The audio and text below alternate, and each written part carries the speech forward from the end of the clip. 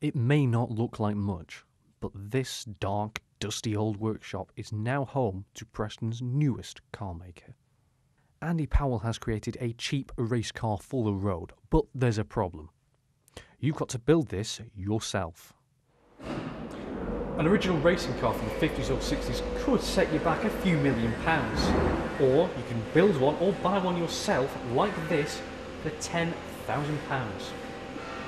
put Meccano together, you can put one of these together. And it's really aiming at that kind of market rather than the, um, the, the greybeards, as it were. It, it also hits a really good part of the market for uh, insurance purposes. Um, I can insure any one of these for £100 a year. It also has the advantage, because you've uh, got um, a, a pre-1972 donor, that you don't pay any car tax. So it's, again, very cheap motoring and really good fun.